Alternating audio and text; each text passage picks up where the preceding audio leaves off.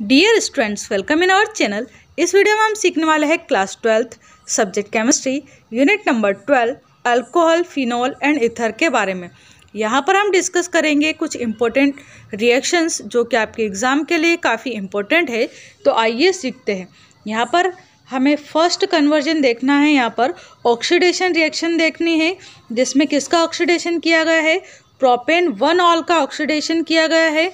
With alkaline कैमेनोफोर solution यानी alkaline कैमेनोफोर सॉल्यूशन के साथ प्रोपेन वन ऑल की रिएक्शन हमें यहाँ पर देखनी है। तो इसके लिए हमें सबसे पहले प्रोपेन वन ऑल का यहाँ पर फॉर्मूला राइट करना होगा। क्या है इसका formula C H three C H two C H two O H ये है प्रोपेन वन ऑल का फॉर्मूला यहाँ पर फ़र्स्ट कार्बन से ओ एच ग्रुप जुड़ा है, इसलिए इसका नाम क्या है? प्रोपेन वन ऑल और यहाँ पर ये ऑक्सीडेशन रिएक्शन हो रही है, इसलिए यहाँ पर ऑक्सीजन से हमने इसकी रिएक्शन करवाई है। प्रेजेंस किसकी है? तो अल्कलाइन केमना फोर की यहाँ पर प्रेजेंस है। रिएक्शन कौन सी हो रही है? तो ऑक्सीडेशन रिएक्शन यहाँ पर होती है, ठीक है? ये दोनों जब आपस में यहाँ पर रिएक्शन करेंगे तो बनाएँगे प्रोपियोनिक एसिड क्या बनाते हैं? प्रोपियोनिक एसिड बनाते हैं, जिसे हम प्रोपेनोइक एसिड भी कहते हैं।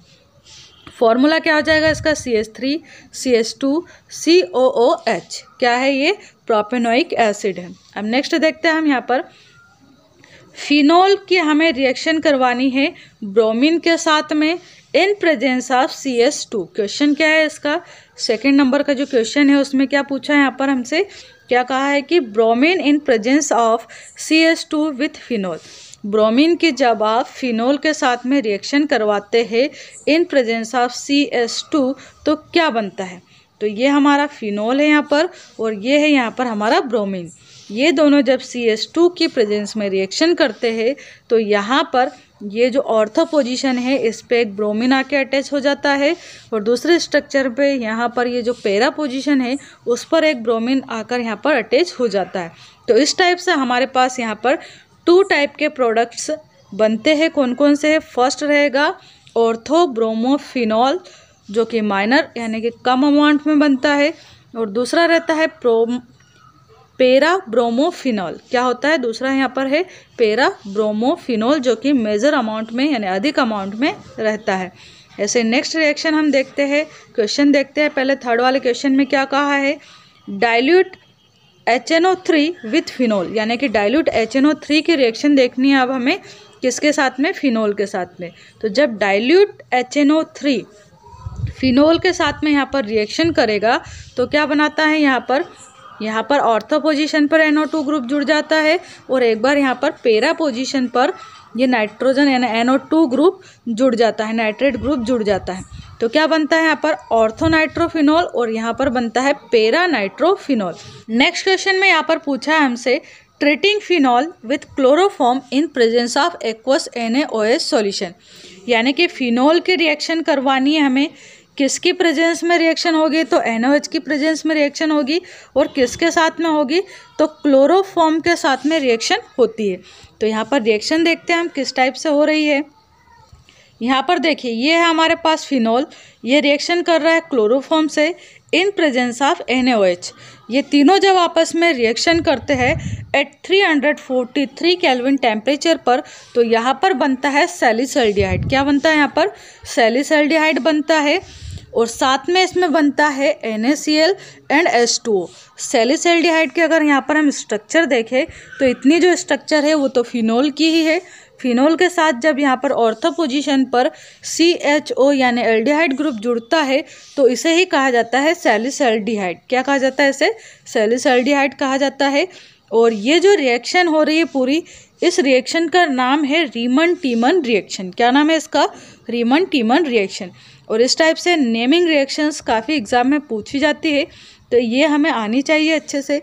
अब नेक्स्ट रिएक्शन है यहाँ पर फ्रीडल क्राफ्ट रिएक्शन और फ्रीडल क्राफ्ट जो रिएक्शन है ना, वो भी टू टाइप की होती है।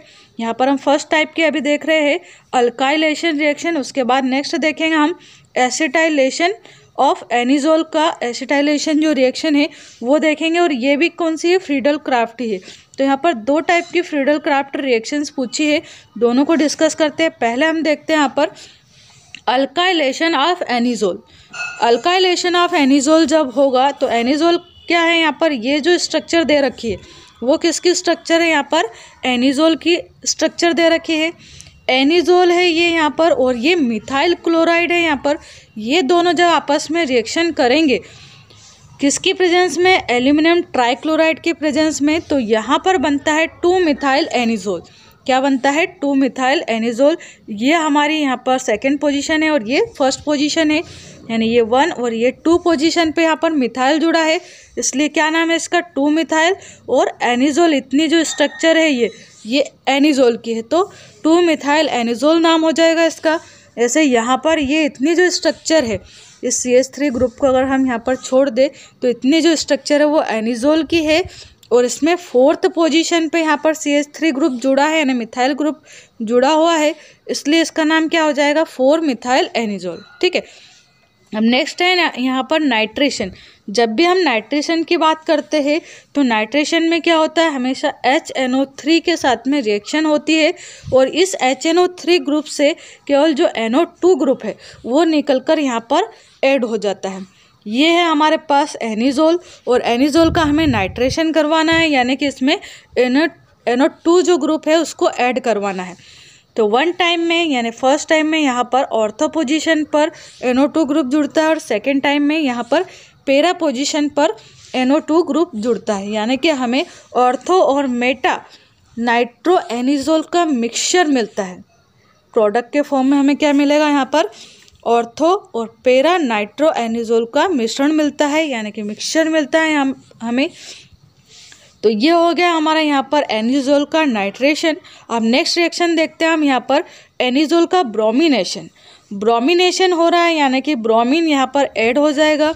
किसकी प्रेजेंस में रिएक्शन हो रही है ये?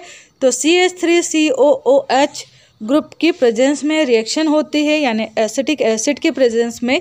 जब एनिजोल ब्रोमिन से रिएक्शन करता है तो यहाँ पर बनता है ऑर्थोब्रोमो फेनेट फेनिटोल क्या बनता है? ऑर्थो ब्रोमो फेनिटोल बनता है और साथ में यहाँ पर बनता है पेरा ब्रोमो फेनिटोल ठीक है? अब ऑर्थो में क्या होगा? यहाँ पर ऑर्थो पोजीशन पर जुड़ जाएगा ब्रोमीन और पेरा में यहाँ पर पेरा पोजीशन पर ब्रोमीन ग्रुप ऐड हो जाएगा, ठीक है? इसके बाद नेक्स्ट देखते हैं हम Friedel Crafts acetylation of anisole ये भी यहाँ पर भी ये फ्रीडल क्राफ्ट रिएक्शन ही है बट इसमें क्या हो रहा है? एसिटाइलेशन हो रहा है। ऊपर क्या देखा था हमने? अल्काइलेशन हो रहा था।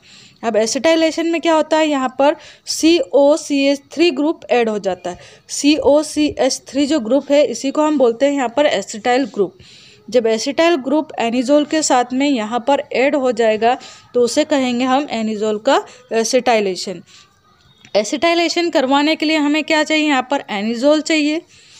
इसी का एसिटाइलेशन करवाना है और साथ में यहाँ पर चाहिए हमें C H three C O C L group क्या चाहिए? C H three C O C L group किसके प्रेजेंस में रिएक्शन होती है? तो एल्यूमिनियम ट्राइक्लोराइड के प्रेजेंस में रिएक्शन होती है और यहाँ पर C O C H three group add हो जाएगा। फ़र्स्ट टाइम में यहाँ पर ऑर्थो पोजिशन पर ऐड होता है और सेकेंड जो कंपाउंड यहाँ पर बन रहा है, उसमें पेरा पोजीशन पर यहाँ पर ये C O C H three group यहाँ पर ऐड हो रहा है, ठीक है? तो इस टाइप से हमें ऑर्थो और पेरा टाइप के यहाँ पर एसेटाइल ग्रुप्स वाले एनिजोल मिलते हैं, ठीक है? इनको हम बोल सकते हैं ऑर्थो पेरा एसेटाइलो एनिजोल ठीक है? यहाँ पर नाम नहीं दी है तो नेम हमें राइट करने की यहाँ पर आवश्यकता नहीं है। तो इस टाइप से हमने देखी है इंपॉर्टेंट रिएक्शंस इनको आपको टू थ्री टाइम राइट करके देखना है कॉपी में, ताकि ये आपको अच्छे से लर्न हो जाए। और आपका आज का होमवर्क भी यही है।